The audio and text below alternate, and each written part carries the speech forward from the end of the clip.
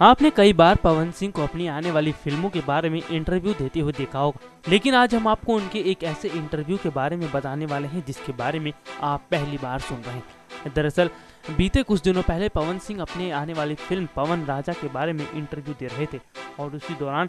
जब उनसे भोजपुरी गाना छलकत हमरो चवनिया के बारे में सवाल किया गया तो उन्होंने कहा कि, मैं पहली बार अपने इंटरव्यू में ये बात कह रहा हूँ कि भोजपुरी में बहुत से गाने रिलीज़ होते हैं, जिनमें से कुछ गाने सुपरहिट हो जाते हैं, लेकिन उतनी बड़ी बात नहीं होती है। उन्होंने कहा कि भोजपुरी में उनका गाना छलकत हमरो जवनिया सड़सठ मिलियन के पार हो गया है, जो अपने आप में बहुत बड़ी बात है। अपनी बात रखते हुए पवन ने कहा कि उन्हें भोजपुरी फ़िल्म इंडस्ट्री में काम करते हुए काफ़ी वक्त हो गया है, लेकिन आज तक उन्होंने नहीं देखा कि कोई गाना इस कदर सुपर डुपर हिट हुआ हो। अपनी बातचीत के दौरान पवन ने कहा कि मैं दर्शकों का हाथ जोड़कर आभार प्रकट करता हूँ कि उन्होंने इस गाने को ना सिर्फ़ इतना पसंद किया, बल्कि सराहा भी। नेक्स्ट नाइन न्यूज़ रूम से राहुल की रिपोर्ट।